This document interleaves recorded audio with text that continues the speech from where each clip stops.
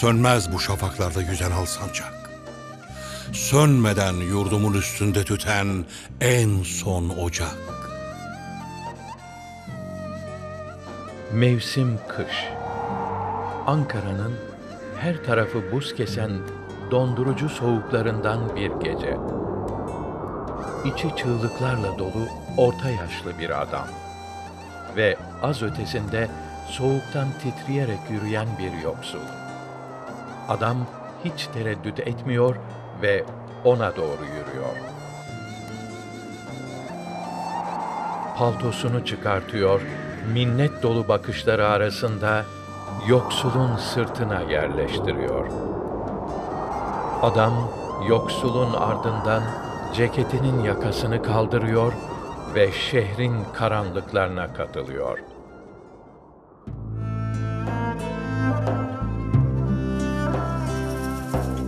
Mehmet Akif Ersoy Destanlaşan bir bağımsızlık savaşını muhteşem mısralarıyla tarihe kazıyan büyük bir şair.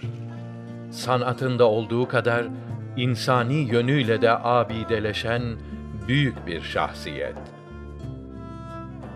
Mehmet Akif, Osmanlı'nın çöküş yıllarında İstanbul Fatih Sarıgüzel mahallesinde orta halli bir evde doğuyor.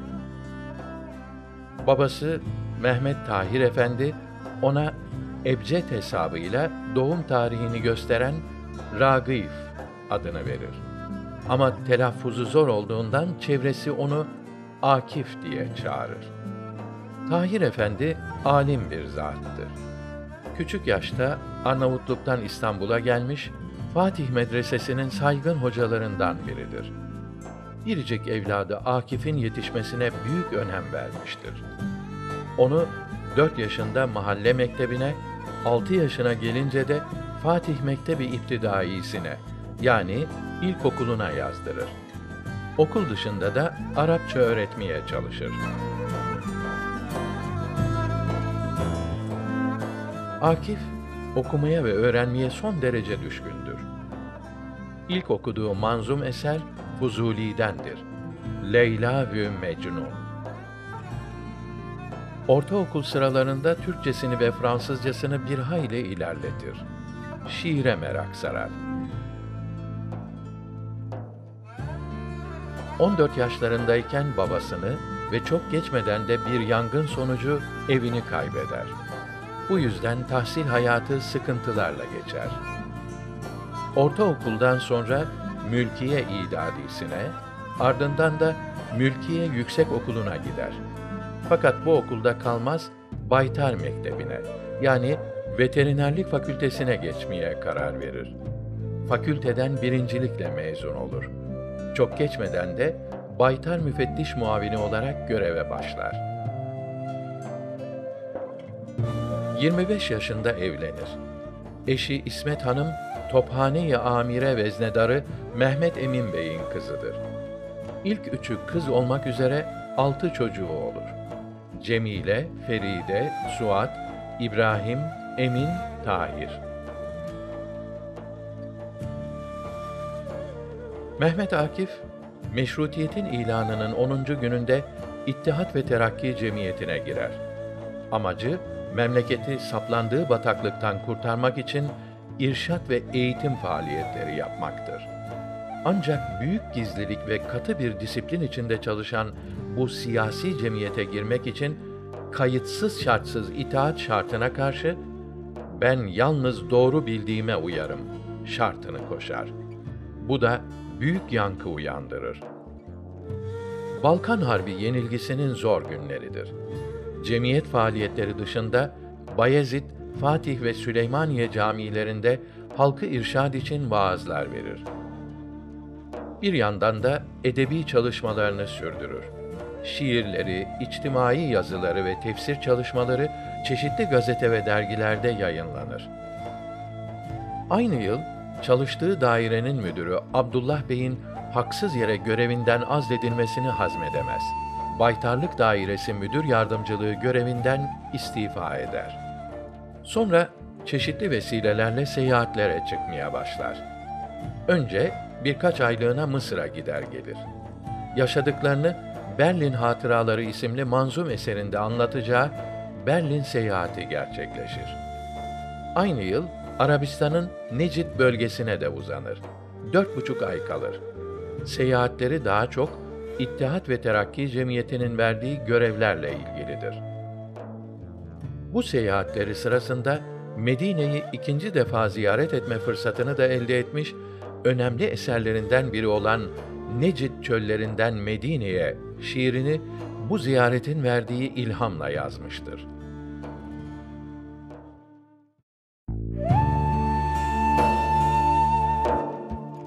Ülkede işgallerle birlikte başlayan İstiklal Savaşı'na katılmak üzere Eşref Edip'le birlikte gizlice Anadolu'ya geçer. Önce Eskişehir'e, oradan Balıkesir'e gider. Zanos Paşa Camii'nde halka vaazlar verir, İstiklal Savaşı'na katılmaya çağırır. Şehrin ileri gelenleriyle görüşür, öğrencilerle sohbet eder. Ardından trenle Ankara'ya geçer. Başta Hacı Bayram Camii olmak üzere yakın şehirlerin camilerinde kürsüye çıkarak gönülleri milli mücadele aşkıyla tutuşturur. 1920'de 5 Haziran'da Burdur'dan, 3 Temmuz'da da Çanakkale Biga'dan mebus seçilir. Biga mebusluğundan istifa eder ve Burdur mebusu olarak kalır. Aynı sene Marif Vekaleti İstiklal Marşı güftesi için müsabaka açmıştır. 500 lirada mükafat konur. Ne var ki yarışmaya 700'den fazla şiir gelmiş fakat hiçbiri bekleneni vermemiştir. Marif Vekili Hamdullah Supi Tanrıöver başta olmak üzere meclisten bir grup arkadaşı bunu Mehmet Akif'ten isterler. Büyük şair ısrarlara dayanamaz. Taceddin dergahına kapanır. Bir sabah ezan okunurken içine dolan ani bir heyecanla yatağından fırlar ve kağıt kalem hazırlamayı bile beklemez. Eline geçirdiği bir bıçakla duvara kazımaya başlar. Korkma. Sönmez bu şafaklarda yüzen al sancak.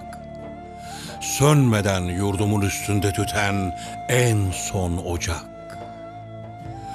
O benim milletimin yıldızıdır, parlayacak. O benimdir. O benim milletimindir ancak.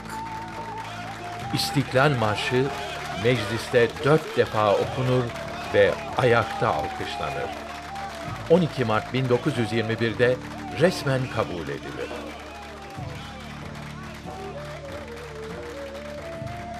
Akif, mükafat olarak zorla verilen 500 lirayı Kızılay'a bağlı Darül Mesai isimli hayır kuruluşuna bağışlar.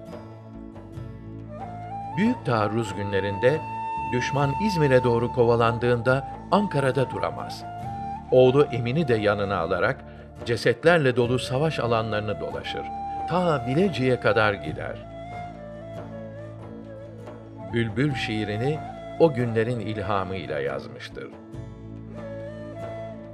O zümrüt tahta kondun, bir semavi saltanat kurdun. Cihanın yurdu hep çiğnense, çiğnenmez senin yurdun, yurdun. Gün bir yemyeşil vadi, yarın bir kıpkızıl gülşen. Gezersin hanumanın şen, için şen, kainatın şen.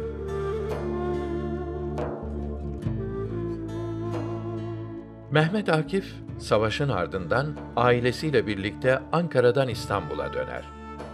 Ekim ayında da Abbas Halim Paşa'nın davetlisi olarak Mısır'a gider ve daha sonra ailesini de yanına alarak 11 yıl Mısır'da kalır. 1935 yılının Temmuz ayında rahatsızlanır. Hava değişimi için Cebeli Lübnan'a, oradan da Antakya'ya geçer. O sıralarda şehir Fransız yönetimindedir.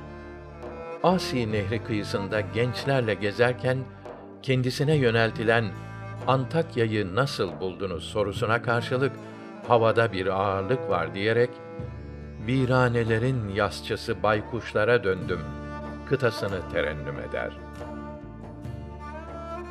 Hastalığı ilerler. 1936 yılında yurda gelmek üzere yola çıkar. Vapur Çanakkale'den geçerken ve İstanbul'un camileri göründüğü zaman kendini tutamaz, hüngür hüngür ağlar. Abbas Halim Paşa ailesi tarafından Mısır apartmanında kendisi için hazırlanmış daireye yerleşir. Hastalığı esnasında bir gün arkadaşlarının acaba İstiklal Marşı yeniden yazılsa daha iyi olmaz mı? şeklinde konuştuklarını duyar. Başını heyecanla kaldıran büyük şair, Allah bir daha bu millete bir İstiklal Marşı yazdırmasın diye haykırır.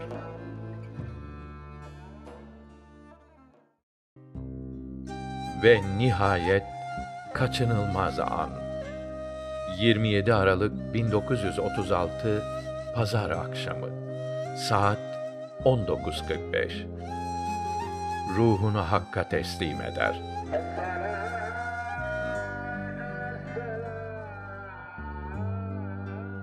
Ertesi gün Bayezid Camii'nde öğle namazını mütakip, üniversite gençliğinden oluşan büyük bir kalabalığın omuzunda defnedilir.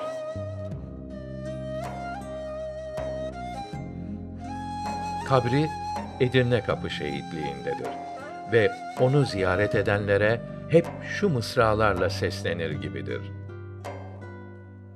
Artık ey sevgili kari, gel otur orta yere.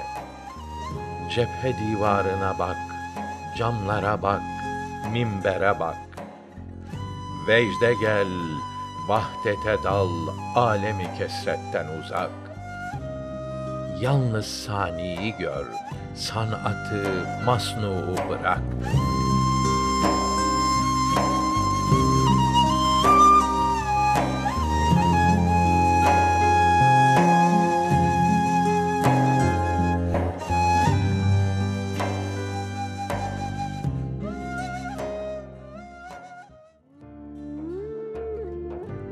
Edebi kişiliği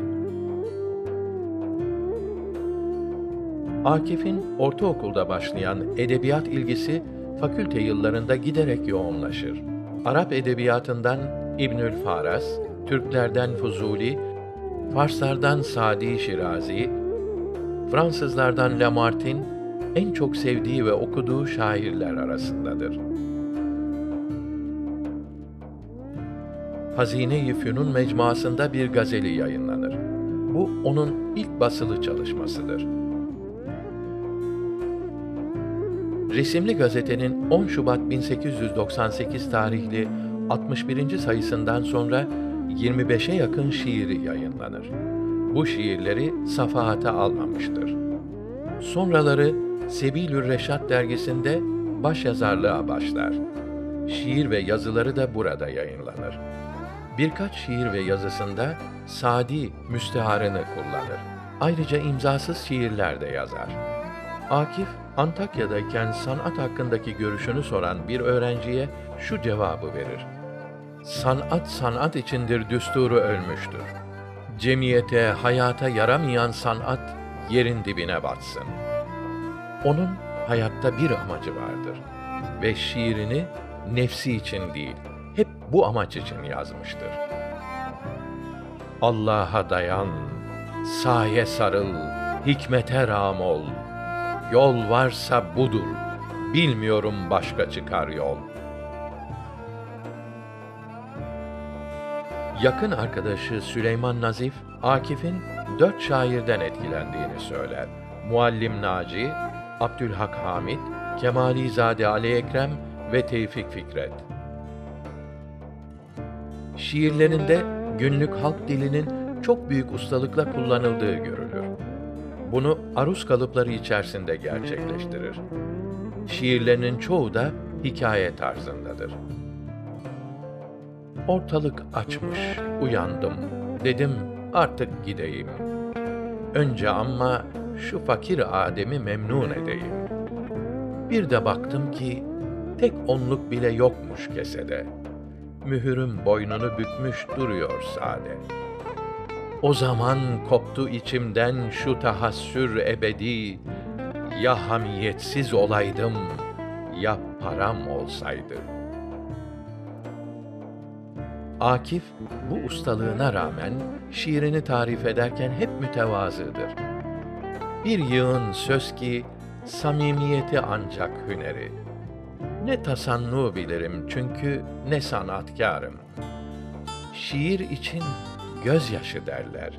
Onu bilmem yalnız. Aczimin giryesidir bence bütün asarın. Bütün şiirlerini Safahat isimli kitabında toplamış olmakla birlikte İstiklal Marşı şiirini o milletin malıdır diyerek kitabına koymamıştır. Arada tercüme ve kısa tefsir çalışmaları sürdürmeyi de ihmal etmemiş, bunları sonradan Hakkın Sesleri ve Hatıralar isimli kitaplarında toplamıştır.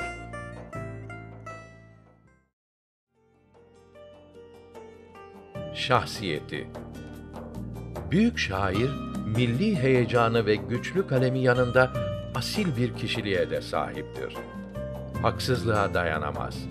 Cesur, dürüst, sözünün eri, sadık ve vefakar. Hayatı bunun örnekleriyle doludur. Bir gün yakın arkadaşlarından Mithat Cemal'e oturmaya geleceğine dair söz verir. Ama o gün çok kar yağar. Hiçbir vasıta işlemez. Kimsenin evinden çıkamadığı Zemheri'de saatlerce yol yürüyen Akif donmuş bıyıklarıyla Mithat Cemal'in kapısına dikilir. Yine evinde bulamadığı için kapısından döndüğü Fatin Gökmen'e söylediği bir söz ya ölüm veya ona yakın bir felaketle yerine getirilmezse mazur görülebilir. Cümlesi de Akif'in kişiliği hakkında fikir verir. Baytar Mektebi'nde okurken arkadaşı İslimyeli Hasan Tahsin Bey ile bir anlaşma yapar. Kim önce ölürse hayatta kalan kişi onun ailesine bakacaktır. Hasan Bey önce vefat eder.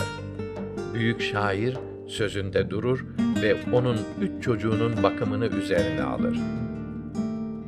O kadar şöhretine rağmen hep sadeliği ve yalnızlığı tercih etmiştir. Cenazesi musalla taşına konduğunda sadece üç beş dost vardır başında.